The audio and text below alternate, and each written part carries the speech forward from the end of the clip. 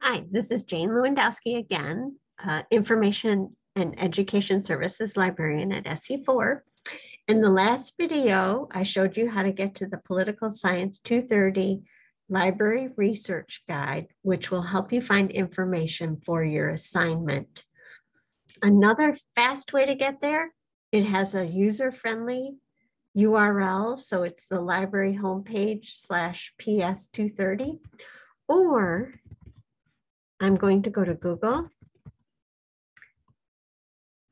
It's indexed in Google, so you could put SC4 library and then PS230.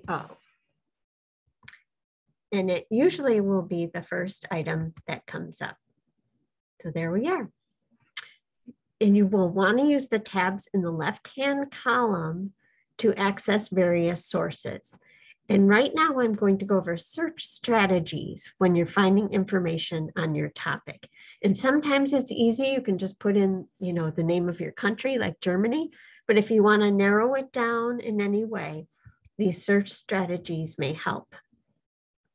Um, the first is phrase searching. So if your term is a phrase, like the examples I have here, um, it's best to put it in quotation marks because that forces the database to search it as a phrase.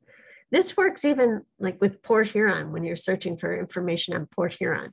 Otherwise, it can the database or even Google can separate the terms and you'll get too much information that's not on your topic. And you can use Boolean operators to refine your search. The three most popular are and, or, and not. Um, and I'm going to just show you the and and or today and how you can combine the terms.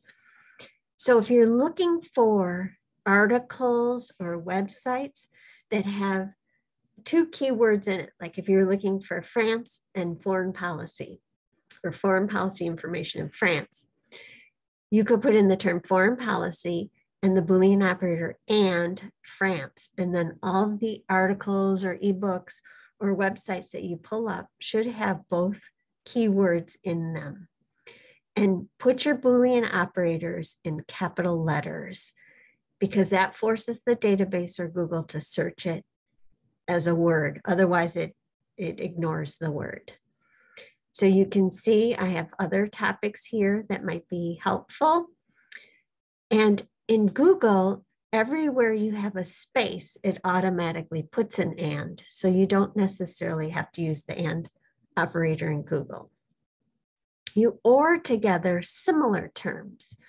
So in this case, if you're looking for demographics or population, they don't mean exactly the same thing, but let's say you're looking for either term, you can or those items together. And usually you find more items when you or things together and you can combine terms to refine your search. If you have ors, it's best to put them in parentheses.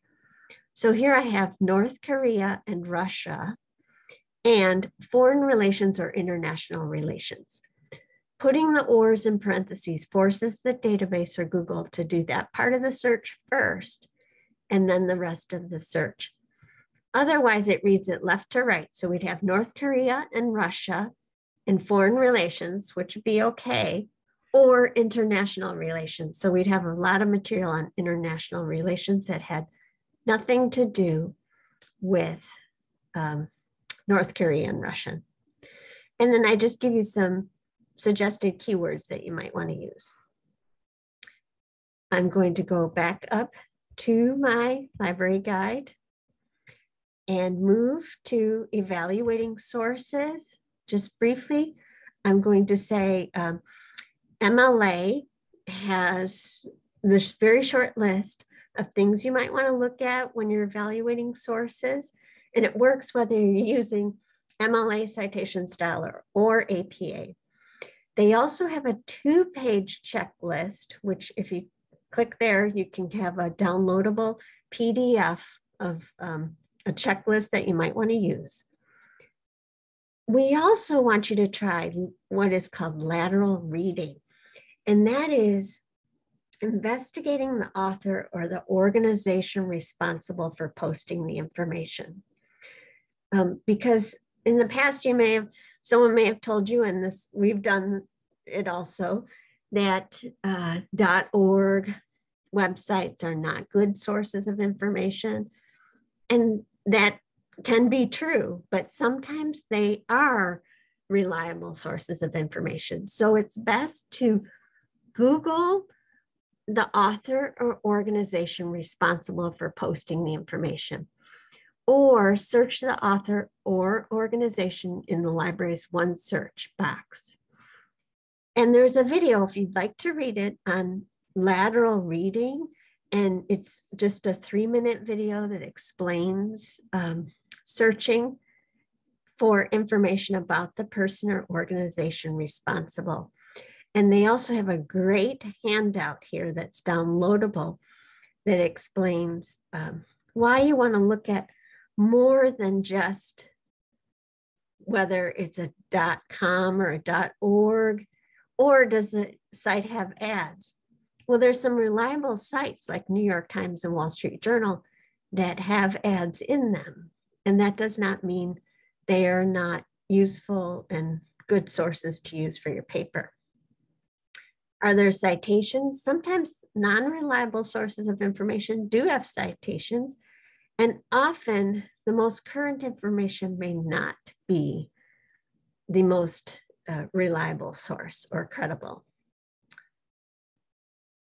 Okay, and so you may want to move on to the next video, which we'll talk about websites that are, are good sources of information for your paper.